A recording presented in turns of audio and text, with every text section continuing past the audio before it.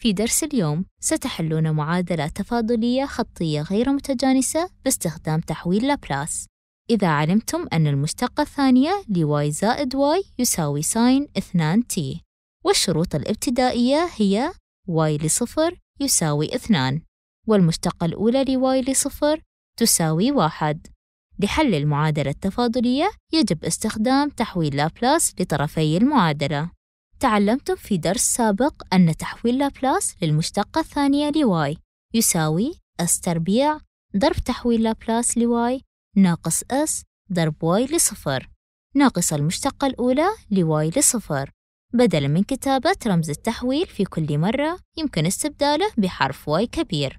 لتصبح s تربيع ضرب y ل s ناقص s ضرب y لصفر. ناقص المشتقة الأولى ل y لصفر. لاحظوا أن هذين الحدين عبارة عن أعداد فهذه قيمة الدالة عند الصفر وتساوي اثنان وهذه قيمة المشتقة عند الصفر وتساوي واحد. بالتالي فإن تحويل لابلاس للمشتقة الثانية هو s تربيع ضرب تحويل لابلاس للدالة y ل s ناقص اثنان s ناقص واحد. ثم تحويل لابلاس للدالة y هذا زائد تحويل لابلاس ل y لا تنسوا كتبنا تحويل لابلاس للدالة y باستخدام حرف y كبير ل s وهذا يساوي تحويل لابلاس للطرف الأيمن أي ل sine 2 t في فيديو درس تحويل لابلاس لل sine تعلمتم أن تحويل لابلاس ل sine A t يساوي A على S تربيع زائد A تربيع. عند تعويض اثنان مكان A يصبح تحويل لابلاس لاثنان t يساوي اثنان على s تربيع زائد أربعة. اكتبوا هذا في الطرف الأيمن. اثنان على s تربيع زائد أربعة. لتبسيط المعادلة اجمعوا الحدود المتشابهة معا. مثلا لديكم هنا y ل s وهنا y ل s. يمكن إخراجه عاملا مشتركا. هذا s تربيع زائد واحد بين قوسين. ضرب y ل s. يبقى هذا الحد. ناقص اثنان s ناقص واحد يساوي اثنان على s تربيع زائد أربعة. اجمعوا اثنان s زائد واحد إلى الطرفين. تحصلون على S تربيع زائد واحد ضرب Y ل S يساوي اثنان على S تربيع زائد أربعة. زائد اثنان S زائد واحد. ثم اقسموا الطرفين على S تربيع زائد واحد للتخلص منها. يصبح لديكم تحويل لابلاس ل Y ل S يساوي اثنان على S تربيع زائد أربعة.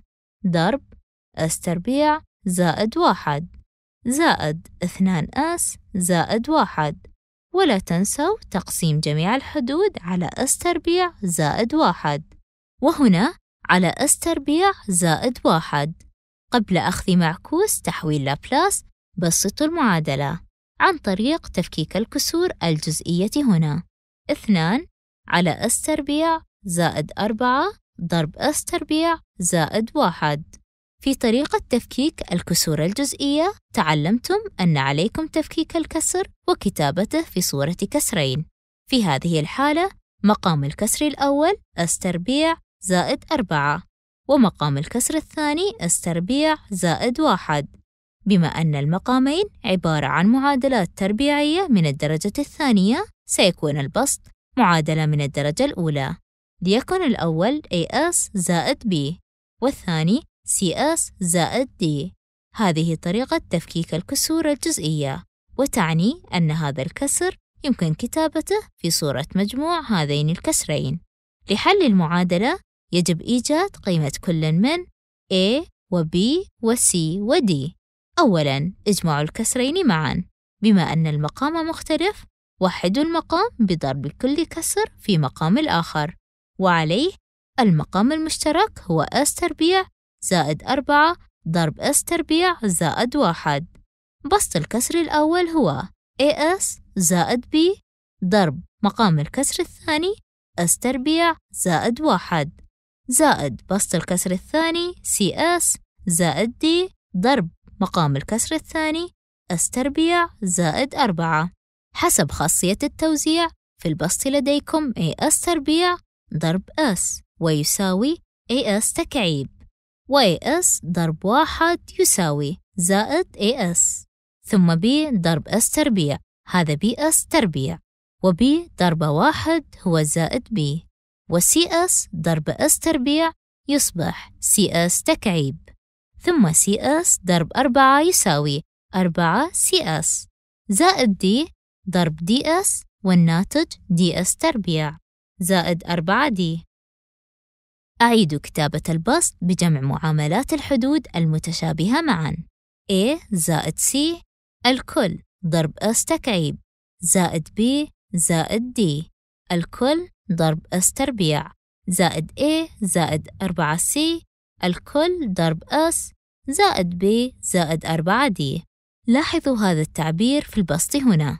يساوي هذا التعبير هنا. على المقام S تربيع زائد 4 ضرب S تربيع زائد واحد. هذا الكسر يساوي اثنان على S تربيع زائد أربعة ضرب S تربيع زائد واحد.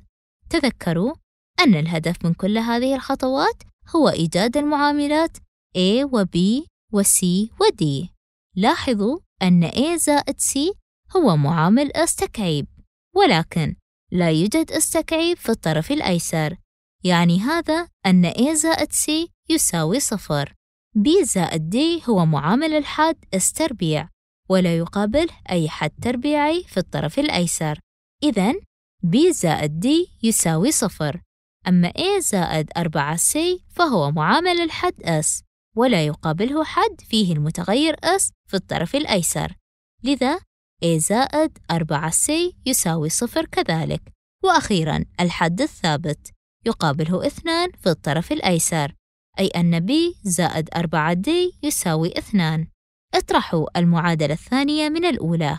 A ناقص A يساوي صفر و C ناقص 4C يساوي سالب 3C يساوي صفر أي أن C يساوي صفر.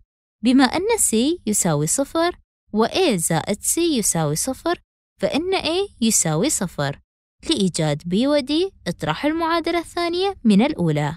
B ناقص B يساوي صفر و D ناقص 4D يساوي سالب 3D صفر ناقص 2 يساوي سالب 2 أقسم الطرفين على سالب 3 تجدون أن D يساوي ثلثين. لاحظوا أن B زائد D يساوي صفر أي أن B يساوي سالب D وعليه B يساوي سالب ثلثين. إذا عوضتم قيم المعاملات في المعادلة تصبح 2 على S تربيع زائد 4 ضرب S تربيع زائد واحد. يساوي البسط في الكسر الأول. بما أن A ضرب S يساوي صفر لأن A هو صفر. زائد B وهو سالب ثلثين يساوي سالب ثلثين على S تربيع زائد أربعة. في البسط الثاني لديكم C وهو صفر. ضرب S يساوي صفر زائد D وهو ثلثان. ويبقى زائد ثلثين على S تربيع زائد واحد. هذا الكسر ناتج عن تفكيك هذا الكسر. ولا تنسوا هذين الكسرين هنا. إذا تحويل لابلاس ل Y ل S يساوي. الحد الأول الذي فككناه إلى هذين الكسرين أي يساوي سالب ثلث. فقد أخرجت الثلث عاملاً مشتركاً. ثم ضرب اثنان على أس تربيع زائد أربعة. زائد ثلثين ضرب واحد على أس تربيع زائد واحد. لاحظوا أن هذين الكسرين يمثلان الحد الأول. بقي اثنان أس على أس تربيع زائد واحد. هذا اثنان ضرب S على S تربيع زائد واحد. زائد الحد الأخير وهو واحد على S تربيع زائد واحد. الخطوة الأخيرة هي أخذ معكوس تحويل لابلاس لمعرفة ما هي الدالة y تذكروا أن تحويل لابلاس ل sine AT يساوي A على S تربيع زائد A تربيع. وتحويل لابلاس ل cosine AT يساوي S على S تربيع زائد A تربيع. معكوس تحويل لابلاس ل Y هو الدالة y ل t وتساوي لاحظوا أن هذا تحويل لابلاس ل sine 2 t حيث a يساوي 2 هذا سالب ثلث ضرب sine 2 t زائد ثلثين. ضرب هذا الحد وهو تحويل لابلاس ل sine t عند A يساوي واحد. أي ثلثان ضرب sine t زائد اثنان ضرب هذا الحد الذي يعادل تحويل لابلاس ل cosine t حيث A يساوي واحد. اضربوا الاثنان في cosine t زائد الحد الأخير وهو تحويل لابلاس ل sine t لاحظوا أن لديكم ثلثا sine t و sine t يمكن جمعهما معا لتبسيط المعادلة. ثلثان زائد واحد يساوي خمسة أثلاث. إذن y ل t يساوي سالب ثلث sine اثنان t زائد خمسة أثلاث sine t زائد اثنان cosine t وهذه المعادلة الجبرية توصلنا إليها باستخدام معكوس تحويل لابلاس وتفكيك الكسور الجزئية. وهي تحقق المعادلة التفاضلية غير المتجانسة التي لديكم هنا وشروطها الابتدائية.